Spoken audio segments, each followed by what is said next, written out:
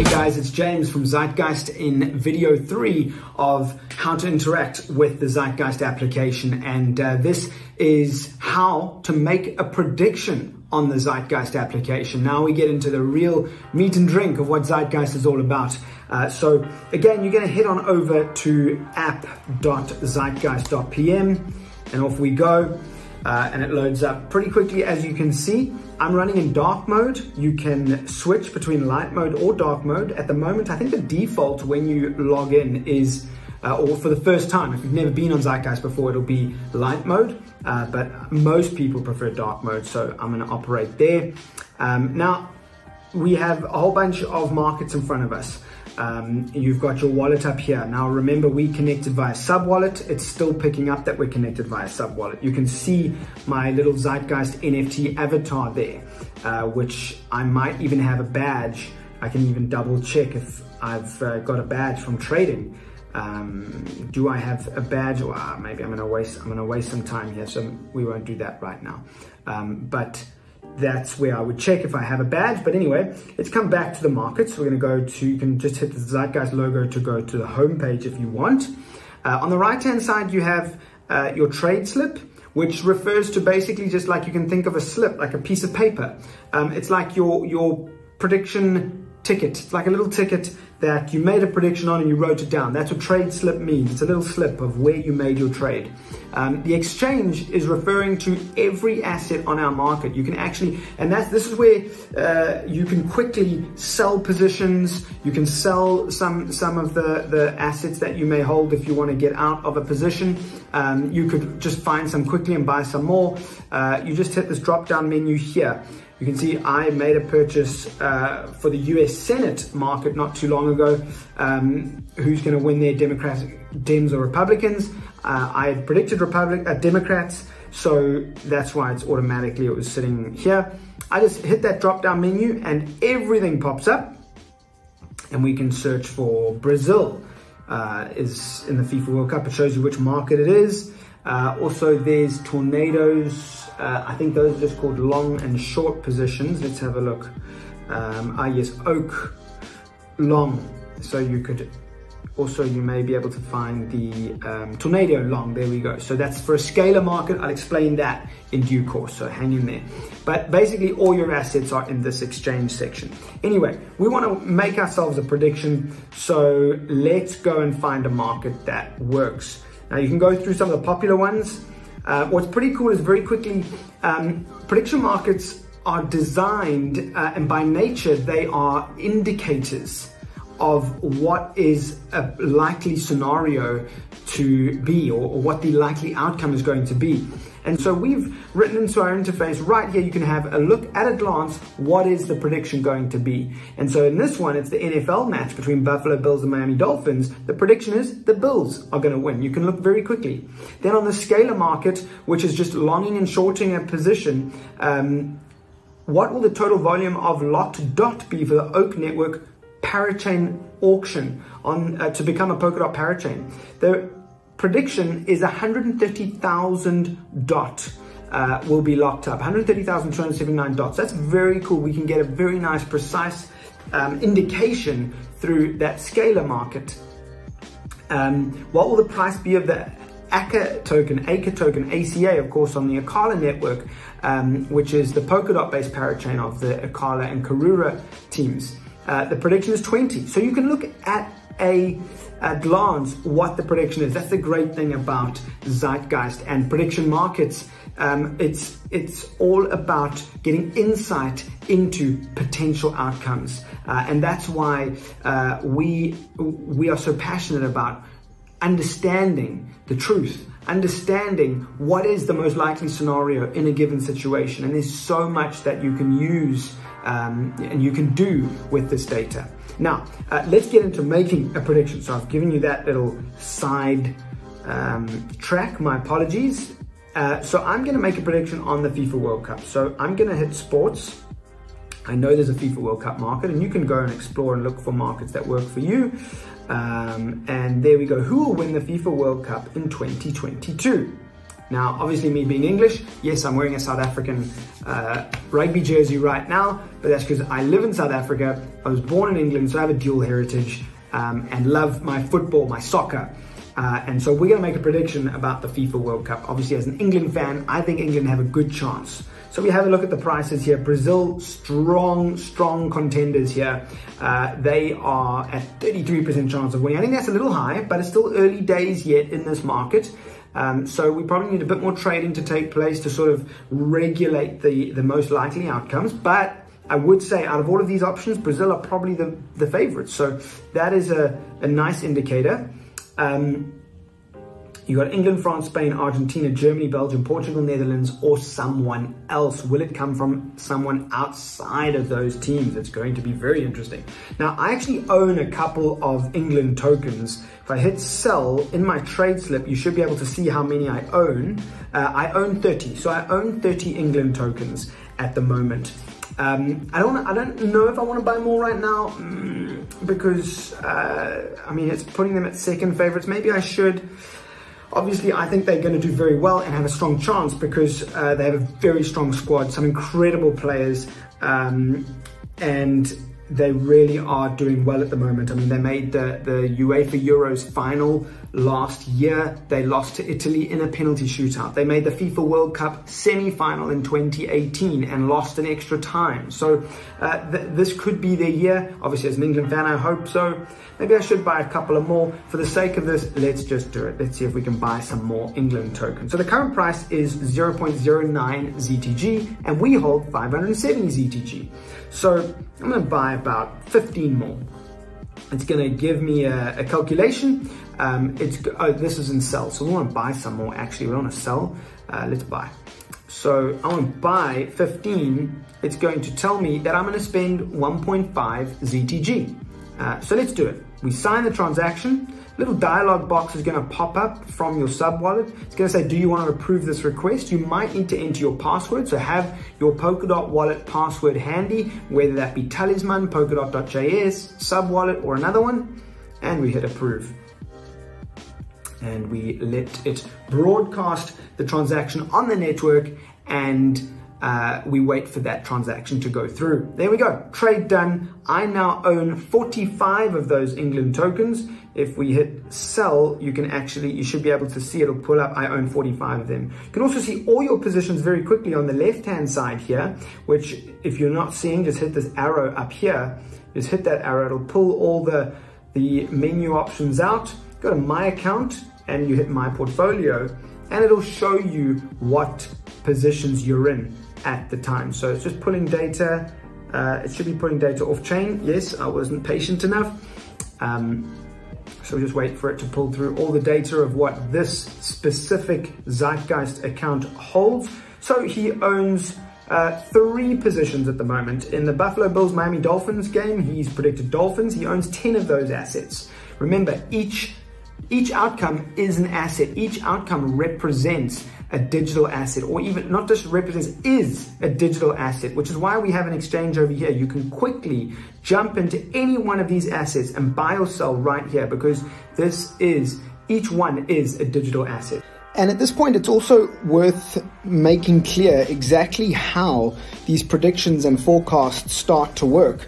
If you read my blog, which explains what prediction markets are and how prediction markets work, you would have an understanding. But uh, for those that haven't, just very quickly, um, why these insights start to develop is because these markets work on a standard supply and demand economic model, and as more of these tokens and assets are purchased, their price goes up.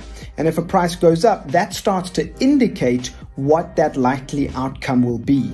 That's why each outcome is an asset or vice versa. Each asset is an outcome. So in the same way we saw in the FIFA World Cup uh, market, Brazil is extremely likely at the moment to win the World Cup because so many people on our app have been buying that Brazil asset.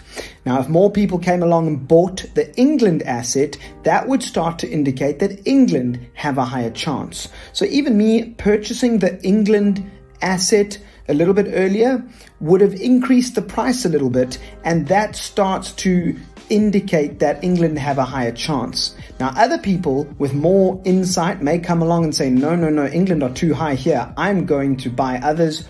Um, and I think um, the Netherlands is a really cheap buy right now. I know the Nether I have insight into the Netherlands. I'm going to buy the Netherlands and that would increase the price of the Netherlands and decrease the price of uh, the other assets.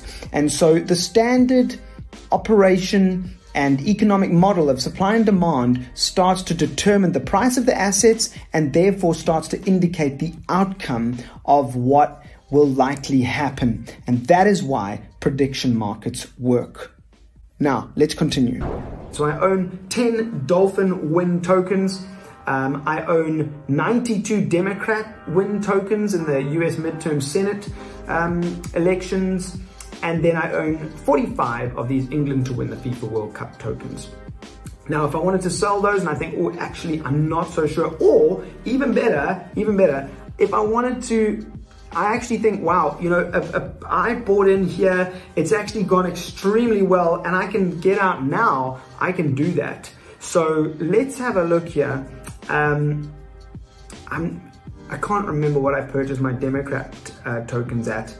Um, but I do know, let's put it this way, I do know that I bought my England tokens um, quite uh, quite well below that 11 ZTG, uh, point 11 ZTG or 0.11 ZTG uh, per token. So I could sell those, but you know I don't really want to let them go. But I, let's just, for the sake of for the sake of this tutorial, let's quickly just sell a couple of demo uh, dem tokens. So I own 92. I'm to sell a couple. ads. All I do is hit sell. This is from within my portfolio. I'm not even in the market. I'm in my portfolio. I want to sell a couple of those. Let's sell 12 of them. It's going to calculate the latest price. Based on the latest price, it's going to tell me that I'm to receive 5.6 ZTG. So let's do that. For some reason, it's not allowing me to sign the transaction. And there we go, it is now. Okay. It may have been because I had the other England trade slip open, so I needed to close it. So we're going to sell some of those. It's going to ask you to approve the transaction. We let it do its thing. It's uh, broadcasting the transaction on the network. We let it do its thing. There we go. Success. I now own 80 of those uh, Democrat tokens. Now you could, as the prices change and fluctuate, you could say, you know what, this has now gone extremely high. You could have bought Brazil really early right now in the FIFA World Cup prediction market, um, and you bought it really early, and now Brazil is extremely inflated. You could sell those and actually make um, a fair amount of ZTG off of that prediction. So it's really simple. It's not that difficult. If you get stuck, all you got to do is jump over to Discord and uh, you can ask. You can see there Tom has uh, already replied saying, is there an error? I'm going to get back to him shortly about uh, an error that I was having. Um, but as you can see, that's it. That's how you do it, guys. It's not that difficult. That's the basic way to make predictions on the Zeitgeist application.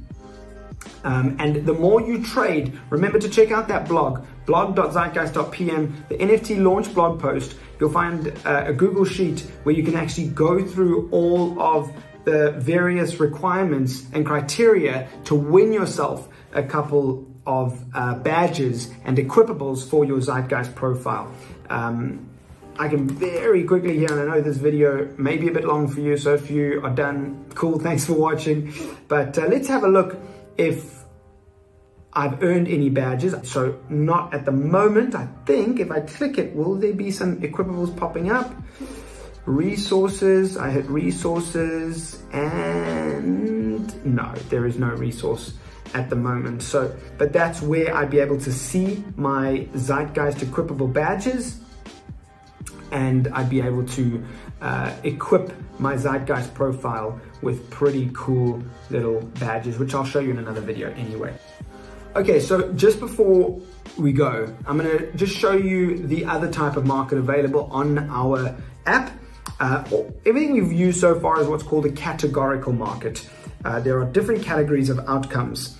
Um, and you get technically you get three types of markets categorical markets, scalar markets, and combinatorial markets. Combinatorial are pretty advanced. We're not going to get into those now. Um, but I will show you the other one, which is a scalar market. Now, a good scalar market to show you would be the tornadoes market.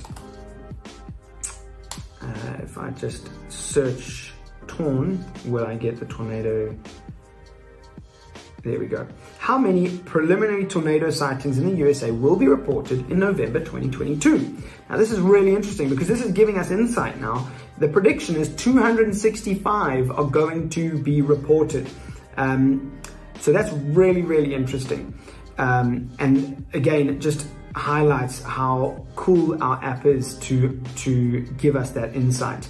Now, how is it coming up with the figure 265 when your options, if we click on the market, your options are only a long or a short, right? Well, what it's doing is it has a range, and in that range, the scale, in the, the in that range, uh, the more longs that are purchased, the asset moves closer towards the higher range. More shorts that are purchased, the asset moves closer to the lower end of the range. And so the range and parameter is set when the person that created the market has set the parameter of zero to 700. So every time you buy a long, what you're doing is you're saying it's going to be closer to 700. Every time you buy a zero, uh, sorry, a short, you're saying it's going to be closer to zero. So there's been a lot more shorts than there have been longs. So we've had 62% um, of the purchases being shorts and that works out to about, on that scale, between 0 and 700, 265. And that is how a scalar market works. So we could do that now. I have absolutely no idea. I'm gonna go with the, the majority because I don't understand weather patterns. So I shouldn't be taking a punt. Um, so I'm just gonna do this just to show you I'm gonna go with the majority and I'm gonna take a short. How many shorts do I wanna take? I wanna take two. Two shorts um, it's gonna only cost me 1.2. I'm gonna sign the transaction. So now I own two shorts of this scalar market of uh, how many tornadoes will be reported in the November 2022 uh, tornado season in the USA. So there we go, transaction done, I own two shorts. And then when the market is resolved and the data is confirmed by the Oracle, uh, as someone who is holding shorts, if it is closer to the lower end of the range, the algorithm will calculate exactly according to how much I own and how much the, the total price was, how many ZTG I get in return. And if it was less uh, and it was closer to the lower end of the scale as a short holder, I will make myself a decent profit. And so that is how scalar markets work. And that's it, guys. That's how you make predictions on the Zeitgeist application. That's how it's done. Not that difficult. Again, if you get into trouble, jump into our Discord, ask some questions there, uh, and the guys will be willing to help you out. Even drop in on Twitter, and uh, we will try and help you there as well or we'll probably re uh, redirect you to Discord. But if it's a simple one and we're available, we'll quickly jump in and try and assist. But uh, that's how you do it. Hope you've enjoyed this video. Hope you've um, learned something. We'll see you in the next video.